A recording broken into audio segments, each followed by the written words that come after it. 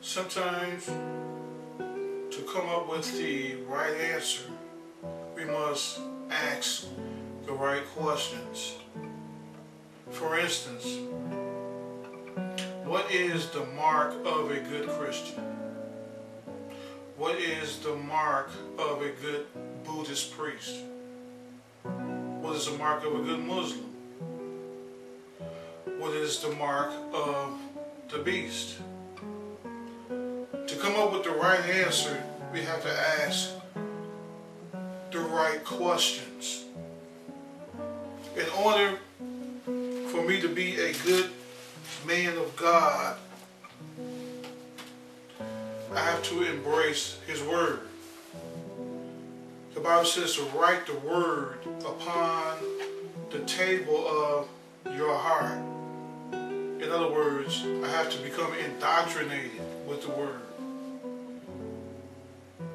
Thy word have I hid in my heart that I might not sin against thee. That's what the scripture says. Embracing the word of God. I hold it in my hand. The scripture says to hold fast that which is good. This is good. I hold fast. I embrace it. It's in my hand. And since I embrace it, it's in my hand, it's in my heart, it's forever in my head, in my forehead. So I'll meditate on his word. The Bible says, let the words of my mouth and the meditation of my heart be acceptable in thy sight, O Lord, my strength and my redeemer. So the mark of a good saint of God, the mark of a good man of God, or a Buddhist priest, or a Muslim, is the doctrine that he embraced. That's the mark The beast has indoctrinated us to embrace his system. His system.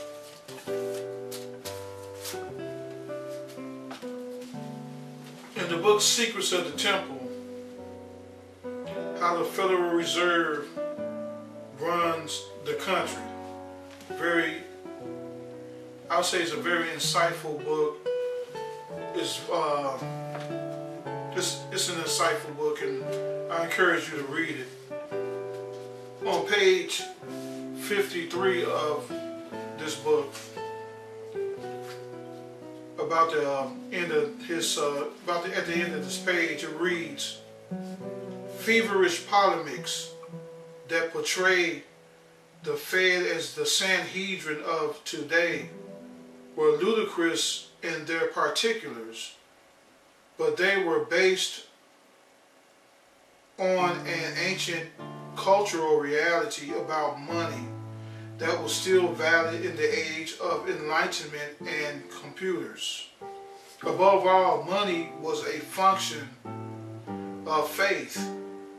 It required an implicit and universal social consent that was indeed mysterious to create money and use it, each one must believe and everyone and everyone must believe.